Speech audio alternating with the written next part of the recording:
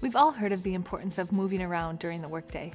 Whether you're a programmer who stares at a screen all day or someone who bounces from meeting to meeting, there are a couple of key behaviors and spatial elements that make a difference to your wellness at work. Consider the bookends to your day, how you get to and from work.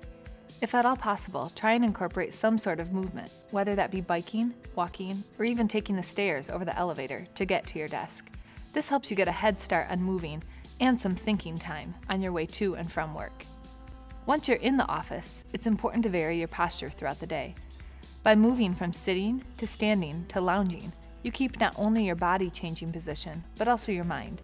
Counter height surfaces around the office enable you to stand and work at your computer at the same time. Whether it be a kitchen counter or a high table, standing while working is a key posture to wellness.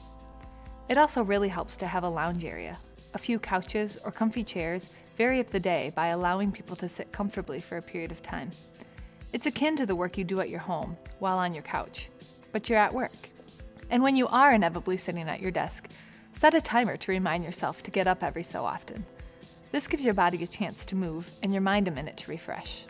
Within your space, plan a few areas just for breaks for your employees. This not only helps with movement, but also with employee morale.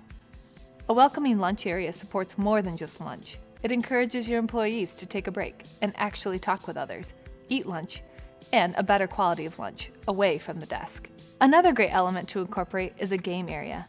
This promotes positive team interaction and competition, as well as movement. And while we'd all like big pool tables or Wii sets, you can do a game area with low-tech options like a beanbag toss or ping pong table. By making a few little changes to how you move and the space within your office, you can be well on your way to wellness at work.